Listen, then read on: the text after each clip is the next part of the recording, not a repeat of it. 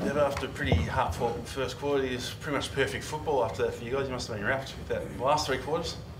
Yeah, it was a bit unstable that first quarter. Um, I don't think uh, either coach's box thought that uh, we had it on our terms. So uh, that was the message at quarter time. You know, we're just up, but um, we need to fix a couple of things. And uh, and yeah, there were a couple of pleasing things. We we needed to sort of get uh, a few things back on track a little bit after what happened last week, and um, and so the way the game panned out after that was, uh, yeah, as you said, it was it was important for us and pleasing for us. Obviously, in the context of the season, really important percentage boost as well. Obviously, you know, you've got to do every, everything you can to really consolidate the spot. Yeah, well, it's still up in the air, isn't it? You know, so uh, you never go into a game even um, really thinking or talking, definitely not talking about percentage, but um, but ultimately, yeah, there's there's still things that are way out of our control, and uh, and we've got to wait to see what happens. Obviously today, and um, but really, even the, the discussion in there was uh, the challenge, you know, down the highway. You know, we always look forward to going to Ballarat and to play the Giants this week after you know we watched them yesterday and they were really strong again against Fremantle. So it's a really good challenge for us in the last home and away game. I know um, North lost Comben obviously and um, a bit undermanned in defence, but Sam Darcy must have been stoked with how he played today. Yeah, well, when you're um, playing against a, a, forward line that's got you know some key threats in in Sam and and Jamarra and, and Aaron, um, not ideal for the Kangas to lose uh, Comben uh, like they did. So that if we got the supply right and gave him a bit of a look, it was always going to be a challenge for them to uh, to defend him. But yeah, ultimately, you know, as far as the um, the game between the ears, to see the way he was able to, um, you know, take a deep breath and convert, and uh, not even really worry too much about last week. That was a, a good step for Sam. What's your theory behind playing Lobb as the number one ruckman today? Uh, you probably just asked me the precursor question to that question. I think you know it was basically to Sam, as much as he missed a few last week, he was a big threat against Adelaide. And so you take him out of there. Um, we've obviously got some boys who, who can mark the footy, and uh, but he's emerging, he's, he's developing, and um, so it's a combination of keeping Sam forward, and uh, and Rory's been um, he hasn't played a lot of. I don't he's played a few games more for Fremantle as the first ruck uh, when Sean Darcy went out of the team, and it's one of the reasons um, he was such an attractive proposition when there was a chance we could bring him in because um, I watched him in in a handful of games be pretty dominant at the stoppage as a, as a ruckman when he was called upon. I know there was a couple of games when Sean went down in games early and Rory had to do that over playing for uh, the purple, and uh, and so you know, as I've said in the past, he's such a great character that you, he knows. Like you go to him and say, "Hey, um, we might need you to play in the ruck this week." He's like, "Yep, no worries." He starts in his own mind getting adventurous with what he's what he can do in that position, and you remind him, "Hey, you're playing against Xerri, who's probably the number one stoppage ruckman in the competition at the moment." So uh, we just need stability, and they gave us that, and uh, we thought he played a really strong game, and and allow Sam to stay forward and and obviously be the threat that he was. Aaron, Aaron came off very late. Is that anything serious or what's the? He just had a bit of cramp in his hamstring. Yeah. yeah. How likely are you to get English back next week? Uh, well, I think he's less likely than than likely. Yeah, at, at the moment. So I think he's definitely going to have another one. That's that's my understanding at this point in time. Just getting back to the forward line, you'll remember as well as anyone, early in the season, the narrative was Naughton's got to go back. It's not going to work with all the bigs up, up front. Is a day like today, is that the, you know, I know there's been more examples than just today, but was that the justification? Is that is that what this forward line is capable of? Oh, look, I think, Mark, you know, as you know, I've never felt any need to justify or, ratify any decisions around positional moves. I mean, um,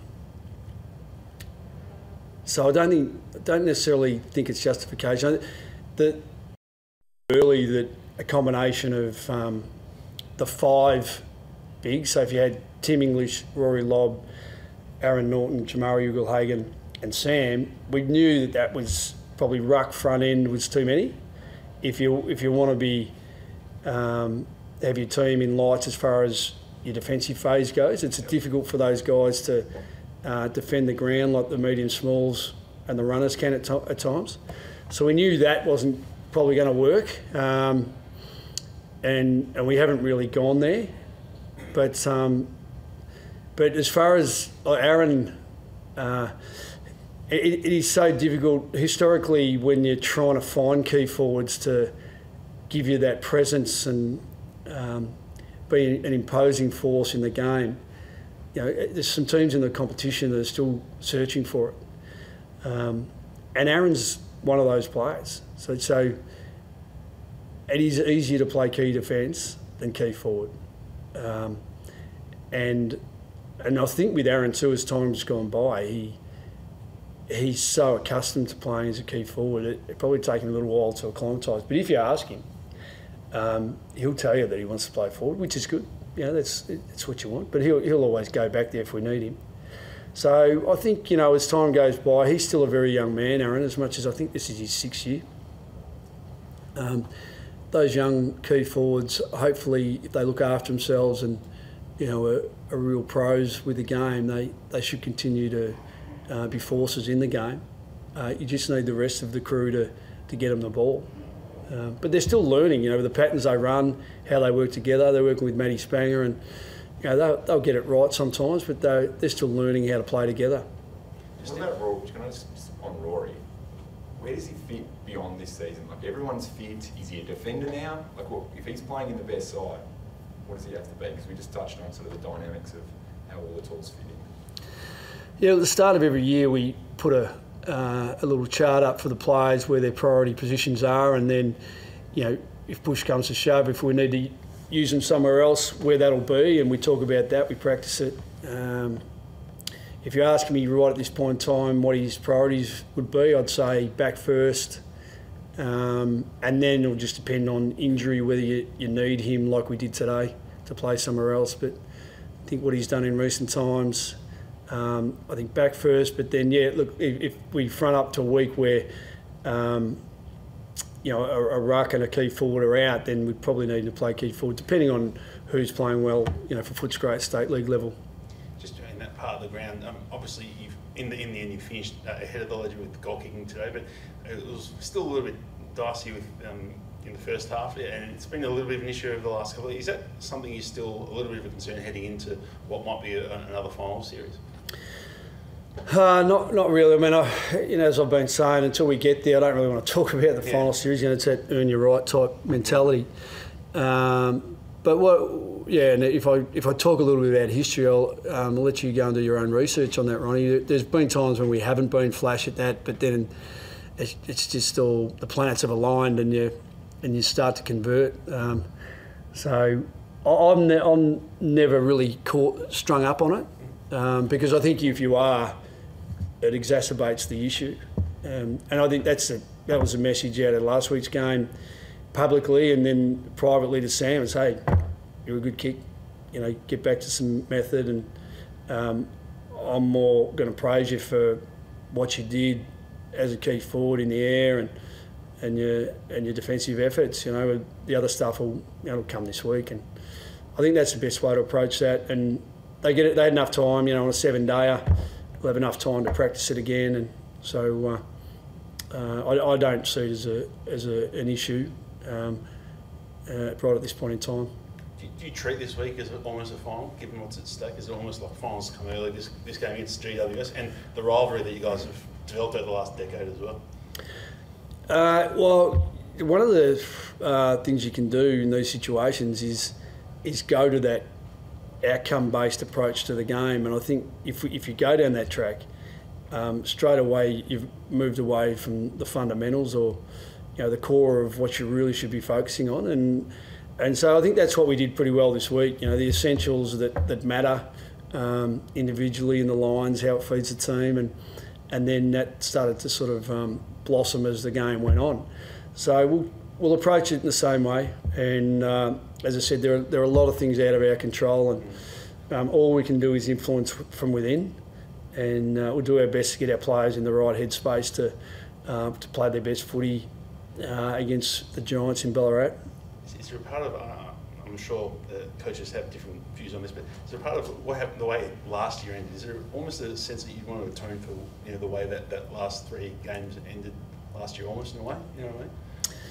Uh, I won't say that I've forgotten about it, Yeah. but it's a, it's a little bit different this year where it, is- it is in our control, Mm. um, as, as the previous year wasn't.